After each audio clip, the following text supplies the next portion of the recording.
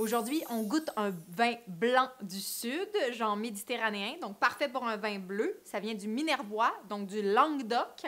Et euh, on goûte ça ensemble. C'est en fait un, je pense, un joli rapport qualité-prix. Je dis ça, mais en fait, j'ai jamais goûté. Donc, je suis, ça fait longtemps que je suis intriguée par ce vin, que je me dis, ben, c'est-tu bon? C'est-tu bon? C'est-tu bon? C'est-tu vraiment bon? Donc, on goûte ensemble. Coupe Rose, Château Coupe Rose, donc Minervois 2010, c'est 100% Roussanne. Et euh, voilà.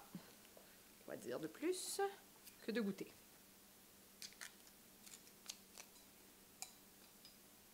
Yeah! Le bouchon marche.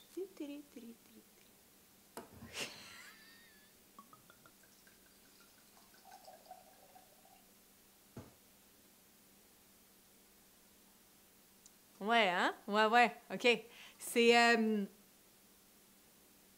ben, c'est de la roussane. Ça fait, ça, ça fait penser à des. ça fait penser à un blanc du Rhône, évidemment. C'est c'est quand même. C'est assez massif comme nez.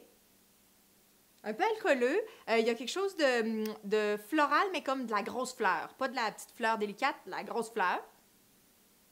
C'est intriguant. OK, je goûte.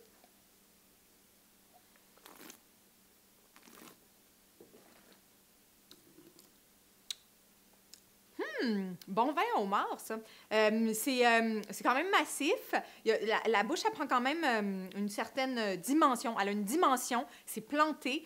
Il y a. il y a, je sais pas c'est quoi le taux d'alcool, mais il y a un, d'après moi, il y a ouais, 14 Il y a un joli taux d'alcool, mais c'est pas alcooleux, mais on sent quand même la richesse de l'alcool. Et mais la finale est, plutôt en, elle remonte, donc le vin ne s'écrase pas. Je l'ai servi bien frais.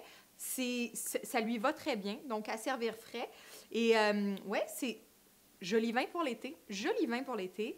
Euh, je suis heureuse d'avoir goûté à ça. Donc Minervois, Château Coupe Rose sur 2010, bu sur le web.